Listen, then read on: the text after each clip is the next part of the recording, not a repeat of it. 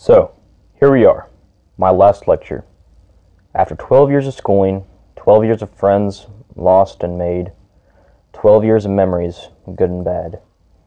Now it is all coming to an end. My childhood was an average one. I had both my parents, which I still do, a loving household.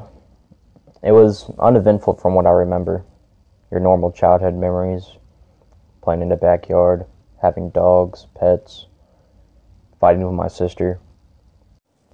But around kindergarten is when it started to get interesting. Around kindergarten, I was always having trouble in class, not paying attention, always being sent to the counselor's office. So my mom decided to have me tested and I came positive for ADHD. ADHD is attention deficit hyperactive disorder, which is a mental condition which affects my attention span and my, and my behavior. It was also in kindergarten when I started to be medicated. And over these 12 years, it's not gotten better. I learned how to deal with it, how to stop myself. And ADHD has probably been my greatest trial in life. Through self discipline, I've learned to control it. Working with my hands has been one of my favorite things to pass the time away since I can remember. Carving, making stuff of metal, and more recently making knives. I know when I'm working, I get into this state of focus and I can just tune the world out. And I truly believe I'm my happiness at these times. So find something you're passionate about and stick with it. For four years, I've done marching band because of band, I feel that when I came into Butler, I came out more prepared than most of my other freshmen. I learned to lay out to school, and more importantly, I already had friends. However, for most of my time there, it was filled with hot, miserable days, and at times I really wanted to quit. And fortunately, or unfortunately, depending on how your perspective is, I wasn't allowed to quit. I wanted I wanted to enjoy myself. I wanted to keep this and have my high school experience. And the fact that every year of marching band was half a credit helped.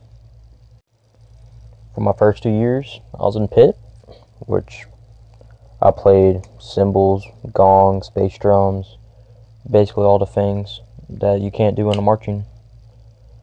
And after those two years, I wanted to do something better. I wanted to be bigger than myself. So I tried out for drum major because I wanted that kind of leadership experience. I made drum major and I set about improving the band. However, what I did not know is that it's extremely hard to work with high schoolers. My mistake was I treated them all I started to treat them all like cadets. However, most of these kids didn't have home training, so that didn't go very well. But in my second year, I learned from my mistakes and things went smoother. We got along better and I actually made some really good connections with my band members. And we did pretty well in competitions. JROTC was and is the highlight of my high school career. I came into Butler and I was not in any way confident. I was cocky, still sort of am, then Sergeant First Class Campbell noticed this and began a systematic process of breaking me down. He targeted my missteps, my mistakes. He broke me down, but he helped build me back up. He taught me what real leadership was and how to implement it, but he didn't hold my hand. I found my own way, but he was always there to guide me when I went off astray. And he made sure that I didn't become a toxic leader. My time in high school has taught me many lessons, but not just those in the classroom. And of all these lessons that I remember, it is that every failure is a lesson.